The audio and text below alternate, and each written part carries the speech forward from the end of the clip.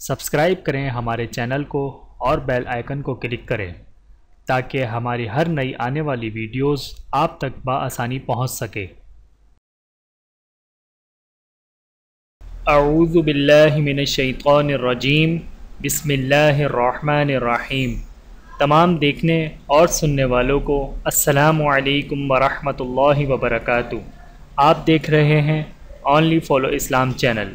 میرے محترم عزیزوں مسائل حج، عمرہ اور مسائل قربانی کی ایک اور نئی ویڈیو کے ساتھ آپ کے سامنے حاضر ہوں۔ اور ویڈیو شروع کرنے سے پہلے آپ تمام دوستوں سے گزارش ہے کہ اگر آپ نے ابھی تک ہمارے چینل کو سبسکرائب نہیں کیا ہے، تو جلدی سے ہمارے چینل کو سبسکرائب کر کے بیل آئیکن پر کلک کریں تاکہ ہماری ہر نئی آنے والی اپڈیٹس سب سے پہلے آپ تک پہنچ سکیں آئیے چلتے ہیں ویڈیو کی طرف۔ اور آج کی ہماری اس ویڈیو کا عنوان ہے عرفات کے دن کی دعا۔ تو آئیے شروع کرتے ہیں۔ حضرت عبداللہ بن عمر بن العاص رضی اللہ تعالی عنہ سے مروی ہے کہ رسول اللہ صلی اللہ علیہ وآلہ وسلم نے ارشاد فرمایا، عرفہ کے دن بہترین دعا اور بہترین کلمہ جو میری زبان اور مجھ سے پہلے نبیوں کی زبان سے ادا ہوا، وہ یہ کلمہ ہے۔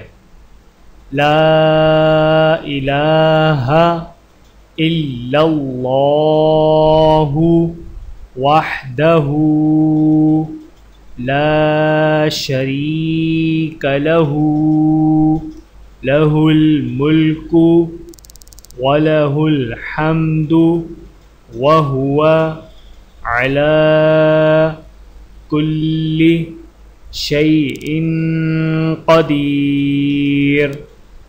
ترجمہ اللہ کے سوا کوئی معبود نہیں، وہ اکیلا ہے، اس کا کوئی شریک نہیں، اسی کی بادشاہی ہے اور اسی کے لیے حمد ہے اور وہ ہر چیز پر قادر ہے۔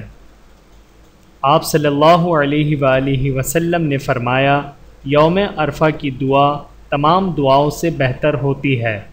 بحوالہ جامع ترمیزی جزاکم اللہ خیرن کثیرہ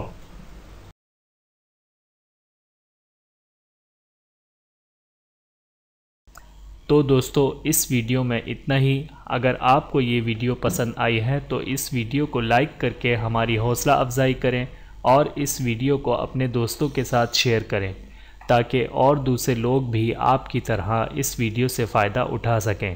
اور کمنٹس کر کے ہمیں اپنی رائے سے آگاہ کریں۔ اللہ تعالیٰ آپ کو جزائے خیر عطا فرمائے۔ آمین۔ اپنا اور اپنے پیاروں کا بہت زیادہ خیال رکھیے گا۔ اور مجھے دعاؤں میں یاد رکھیے گا. ٹیک کیئر اللہ حافظ.